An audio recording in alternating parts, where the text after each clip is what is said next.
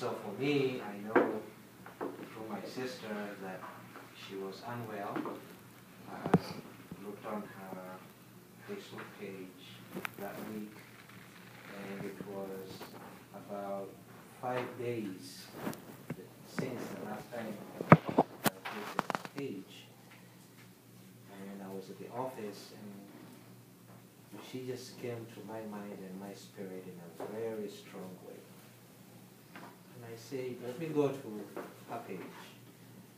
And the first post that I saw was no more than a minute old, saying that the Luhan had passed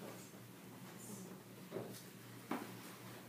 And so to me, I can just say to her, thank you for having been my friend as she had been to all of you. So, thank you all.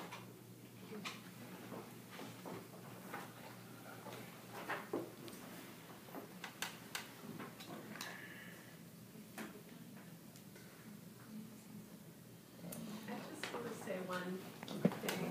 Um, Do you want to go first? Um, So um, David is my husband, and uh, I met Neil Farr in Bloomington, Indiana. Uh, And uh, I've also been to Uzbekistan with David, and um, one of the things that everybody knows about Uzbekistan is that it's a culture of hospitality. And we had many, you know, we've had many meals in Uzbekistan where people fed us and welcomed us graciously, including um, at the home of Shurat, Nilüfer's brother. And I just, in thinking about Nilüfer, she exemplifies that, but like everything, she made it her own. She, you know, she lived that hospitality through her generosity of spirit in a completely unique way. So whereas when we ate with, you know, all these Uzbek friends, there were certain dishes, you know, that are traditionally served. And when I think of all the meals that Nilüfer made for us, it was food that I had just never eaten before. Like she had no name for anything. Anytime I asked her, well, how did you make it? She could never tell me. You know, she just like, oh, I just threw this and that. And, you know, it was, but it was always delicious. and um, I'm remembering this one meal that was delicious. And, um, you know, it was meat on a bone that I had never seen before. And I said, what is this? What's this meat? And she said, and I, I was thinking it was goat, but she said, oh, it's beef. And she, I think she just was, she just thought we would be somehow turned off if it was goat, so she wouldn't tell us. but I just, uh, she, that was just one of many ways that she gave to people. And, and I, you know, in, in hearing the story about the, the frilly green and white dress, I remembered that she, um, she brought many little gifts to our children um, when they were little, and one of them was a green frilly dress. This is funny because my daughter has a green. Really? Somewhere she must have gotten a bunch of green frilly dresses. And it, you know, it, I remember we, we have we have we do have one picture of our younger daughter in that green frilly dress. It's one of the only times she ever wore a dress. Yeah, she is somebody who never wears dresses. Once for the picture. And it was in our sort of costume box for years, and lots of kids put that dress on. And um, so that thank you for sharing that memory, and um, thanks to all of you. It's great to hear what you had to say. allow me, may I just have just be somewhere affected. Wait, ask for your permission to leave, please. Thank you once again. So I apologize and this. Thank you very much. Thank you. This is. Thank you very much. Thank you. Thank you.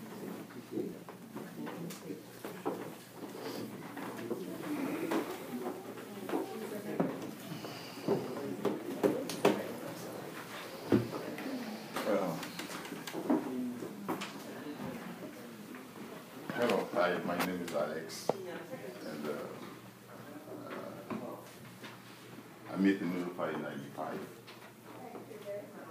I met her. At that time, I used to work in one of the restaurants down there. So she was with uh, her friend named Sarah. Yes. So um, I served them, and uh, after all, we, we become a friend and close friend.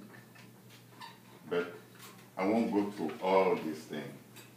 In March 15 to 15 of this month, in March, we was talking, and uh, I have a lot of message where she left in my, uh, in, because we talked through uh, WhatsApp. So she left a message, I called her back up. But the most important thing it was uh, she think about all her friends. She's like, Alex, if something happened to me, I didn't tell to all my friends, I didn't say anything to my friends. I said, hey, you know me, I know you. Nothing going to happen to you. We will pray and nothing going to happen to you. And so we was laughing and uh, she's saying, you know, she's walking now on wheelchair. And I said, Nilfa, you on wheelchair? So we was talking, we laughing, all kind of stuff. Until in April, uh, Liz called me to let me know what's going on. Did you hear about Nilfa? And I was like, Nilfa, yeah, we talked maybe last week, but since last week, I was calling her, I was left a message. Even though one of the messages said, you know, Nilfa, you know, when they say no news, it means like uh, good news. So I hope everything's okay. And the next day, you call and say, Nilfa, she's gone. So, but she just want me to let you guys know she's okay. She thought she thought about you, all her friends. I have a some of her uh, stuff. If you, you guys allow me, you know. Right before I, I went to see him, I saw another American That was on March hospital 14. doctor here in Dubai, just to get a second opinion. And this was an ass, was some asshole from I don't know from hell. You know her language. Yeah.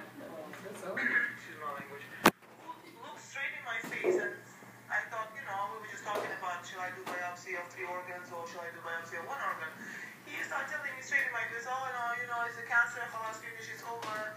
It's basically pack your bags, it's over for you. I said, what are you talking about? You know, even people when the first one you didn't do biopsy, you don't have the blood test to show anything. What are you talking about? You don't even know me, okay? You think I lost a lot of weight? I didn't lose a lot of weight. I only lost four, five kilo. This is not a symptom. You know, people who have major problems, they lose 20 kilo like this, no? And he said, he was still an asshole. He's saying, no, no, don't you know? I said, uh, look, I said, there's so many ways to, to, to fight this. We in 21st century, we're not in the, we're not in the uh, Stone Age, okay? We're not somewhere, God knows, in jungle. We are, we are in Dubai, okay? And, you know, in the world, in America, Europe, anywhere, you can do surgery, you can do so many things, right? Treatments. He said, no, no, it's, it's incurable. Yani, you know, there's no, there's no treatment for it. I looked at him, I was like, what an asshole. What a stupid asshole. I got up and I said, you know what, Ex- in my mind, I said, fuck you, okay? So I left. and that's the time when he broke me. He broke me down like crazy. I came outside of the hospital. I was shaking. I was so upset. I was crying, saying, not, you know what, Alex, I was not crying for me to say, oh, okay, fine. One side was to say, yeah, this is it, this is it, this is the end of my life. Uh, what, what, you know, what, what am I supposed to do now? How much time do I have? And the second thing was, I was just thinking, how much is gonna make everybody upset, cry, my family, everybody, how are they gonna take this, no? You understand? So mm. I have a more of these things to let, you know, just to let you guys know, so, you know, you're all. Thank you.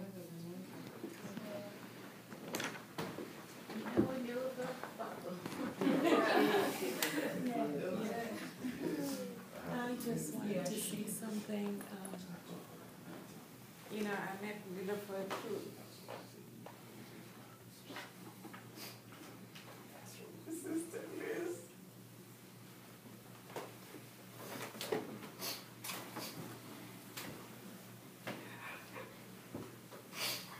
And she just blended in in our family, like she was just, just one of us, and we were the youngest, and we kept fighting, me and her, we kept fighting. Any little thing, and, and because she wanted Liz's attention and I wanted Liz's attention, and it was just every time we met, you know, we would, and, and you know, the funny thing is, no matter whether, you know, we'd fight, and then she would laugh, and that's all I remember about her is her laughter.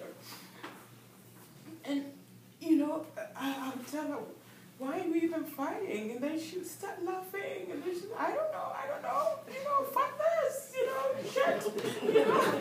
And I, then we'd make up. Then the next time we'll fight. Then we're on the Facebook, we're fighting. Then we're on, you know, email, we're fighting because we just we just wanted, you know, our sister's attention. And I'm like, who is this intruding, you know, in my family?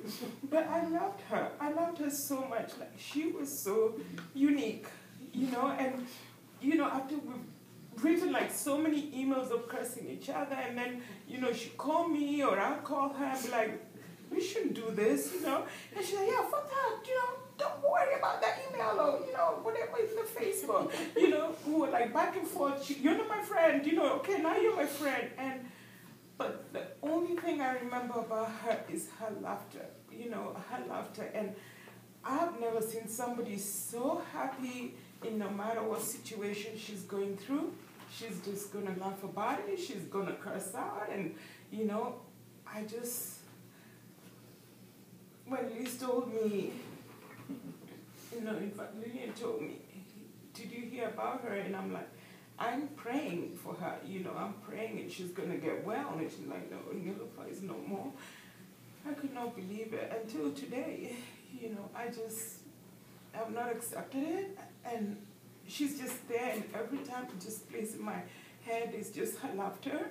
And I, I know she's just like, right now she's just cursing me fucking go ahead with your life and I'm all right, you know, I'm okay. And, and I just thank God for giving her, you know, being a part of our family, a part of our friend. And, you know, I just wish her peace wherever she is, that now she's in the hands of the Lord. I have um, one message to play from a friend of Forrest. Um, who's in Ghana, and he sent uh, an audio message that I'd like to play. His name is David Papo, and Samantha knows him very well as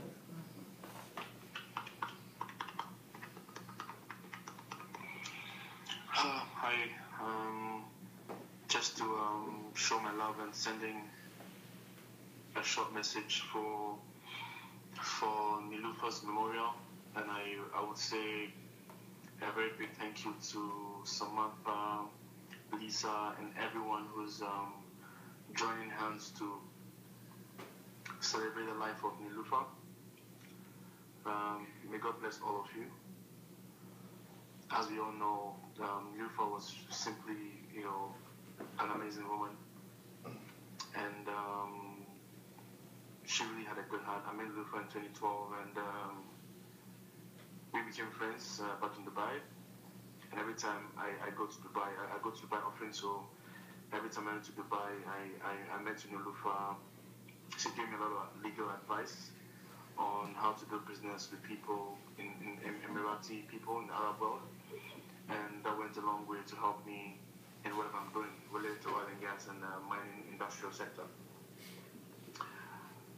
Nilufa was, oh my God, she was such a, honestly, I don't know exact, I don't know what words to use to actually express or explain how special Nilufa was.